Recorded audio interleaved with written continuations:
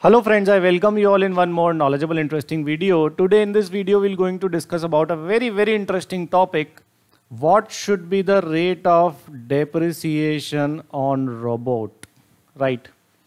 If you are using robot as a fixed asset in a business, then what should be the correct rate of depreciation? In this video we're also going to discuss about a latest legal development in this in this matter we will also going to discuss about a very, very interesting judgment of Chennai Tribunal in this case, right? So let's start the video. See, robot, if you are using it in your business as a fixed asset, right? Then it is a point of dispute that your robot attracts depreciation rate as per computers or as per plant and machinery. Because in both the rates there is a huge difference. Computer attracts 40% depreciation rate and plant and machinery attracts 15% depreciation rate. So it's a point of dispute. For example if a robot if a robot costing rupees 10 lakh rupees then if you are charging it under depreciation as computers in the computers block then you are eligible for 4 lakh rupees of depreciation. And if you are charging it as a plant and machinery block, then you are eligible for 1 lakh 50,000 rupees of depreciation, right? So the difference in these two values of the depreciation in this example is 2 lakh 50,000 rupees. And robots are way expensive, right? Not just 10 lakhs, it may, it may cost you up to 50 lakhs, even some crores of rupees if you're buying it for a critical function in your business, right?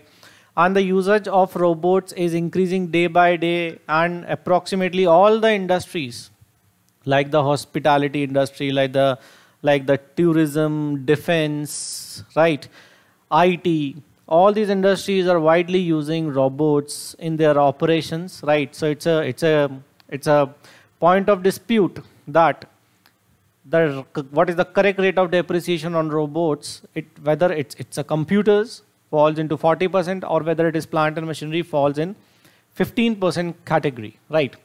So let's, let's deep dive into the discussion, right? When we talk about the computer thing, when we talk about the computer thing, then as per my observation, robot is having all the characteristics of a computer. How? It has a central processing unit. It has RAM. It has hard disk. It may have mouse. It may have keyboard. Right? Or in some of the robots, it, they may also have screens or the monitors. Right? So all these components together, when we assemble them, we call it as a computer. Right? And robot may also have all the components in it and it has a, I think it has all the attributes of a computer. And I read it somewhere that that all the robots are the computers but all the computers cannot be the robots. And to some extent I, I found it correct right?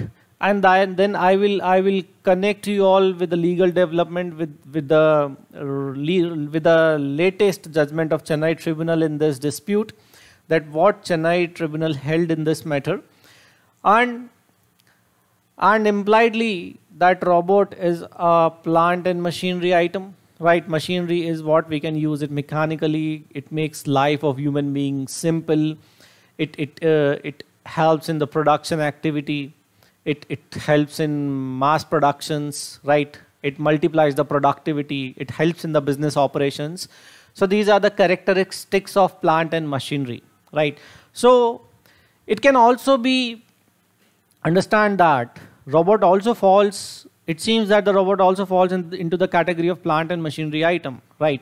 So it's a great point of discussion as well as when the matter escalated to the income tax authority, it's a, it's a point of dispute. Department says that no, it is plant and machinery because the depreciation is less. So the income is high and the tax is high. On the other side of it, the taxpayer or the assessee says that no, it is not plant and machinery, it is computers. Why it is computers? Because it has all the characteristics of computers. Computer is required to operate a robot. Robot have all the components which the computers have. right? If, if it falls in the computers category, then the depreciation rate is high, income is less, and the taxes are less, right? So, so both the department and the taxpayers raising their disputes, right? And, and to me, both seems logical. And then I'll connect you to the legal development, one of the latest case law of ITAT Chennai bench in this matter, right? So robots are widely used in a lot of industry these days, and robot seems to have all the characteristics of, of the computers. And one can also say that the robot also have plant and machinery features, right? Now let's let's talk about a recent judgment, a recent judgment of Chennai Tribunal, Chennai Tribunal, right? The case law is of robotics learning, robotics learning solutions private limited versus income tax officer. Right. So this is the relevant case law. And interestingly this case laws goes in the favor of the department means this case law says that the correct rate of depreciation, the correct rate of depreciation for the robot is not of computer but is of plant and machinery that is 15%. Robots are not eligible for 40% depreciation rate rather robots are eligible under the plant and machinery block and are eligible for 15% of depreciation rate right. So this is uh, a very interesting case to be understand because because these days robots are widely used in almost all the industries right? So you may have a client who will ask you that what should be the correct rate of depreciation on the robots. Either it is computer or either it is plant and machinery either it is 40% or either it is it is 15% right so you can you can use this case law of robotics learning solutions private limited of chennai tribunal one of the latest, one of the latest judgment in this case, Chennai Tribunal case law said that the correct rate of depreciation on the robot is of the rate of plant and machinery that is 15%, not 40%, like the case of computers, right?